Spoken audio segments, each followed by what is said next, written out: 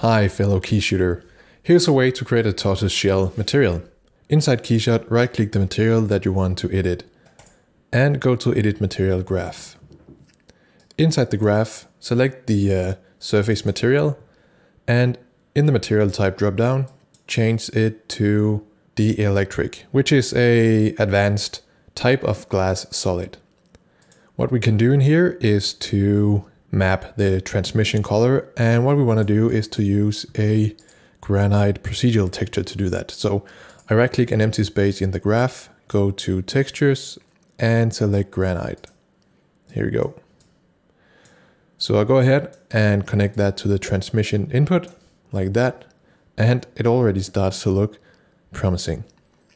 I double click the granite texture and I go to the color and find something close to the uh, usual tortoise shell look. All right, something brown like this.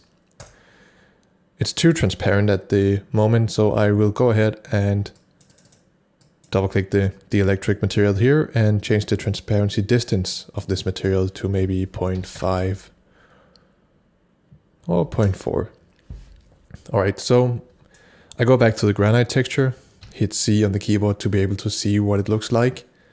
And I can see that the scale is quite big at the moment. I want it to be smaller. So I take the scale, drag it down to maybe six or four, depending on the look that you are going for. So when I hit C again on the keyboard, we start to get this very recognizable look. With the granite texture, you only have the option to adjust one color. If you want to be able to adjust both colors, what you can do is to right click, go to textures and add in a color gradient. Connect the granite texture to the map in the color gradient node and connect the color gradient node to the transmission input here on the dielectric material. Double click the color gradient and hit C on the keyboard. And you now see that we have two colors, black and white, and we have black and white here on the gradient as well. Meaning that whatever I change the white color to here will also change in the real-time view. So let's pick a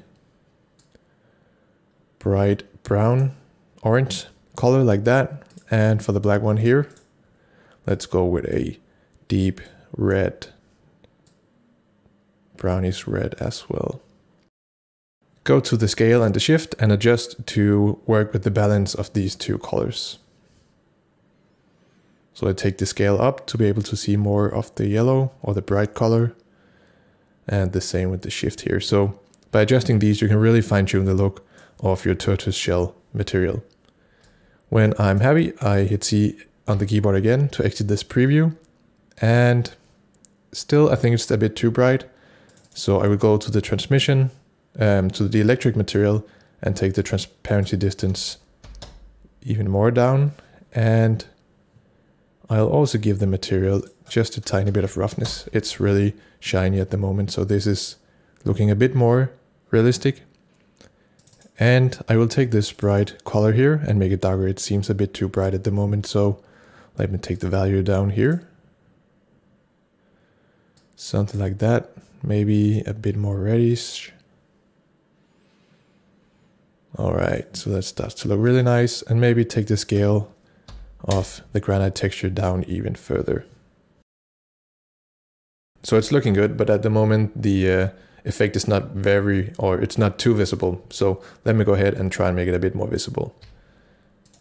I take the scale up just a bit, uh, change this color here to white, so it will map a bit better.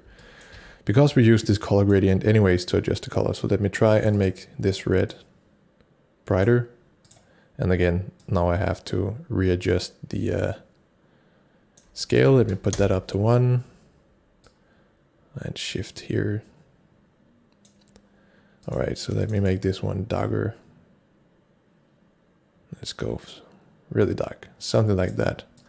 And hit C on the keyboard to see what that looks like. And now I maybe have to take the trans transparency distance up again. So now we start to get this effect way more pronounced than before. So as you see, there's a lot of balancing going on with these uh, different colors and the transparency distance as well. but eventually you should be able to get to the specific look that you are going for. Thanks a lot for having a look. I hope that you learned something from this tutorial. Hit like and subscribe if you haven't done already to see more content like this in the future. Until next time, take care.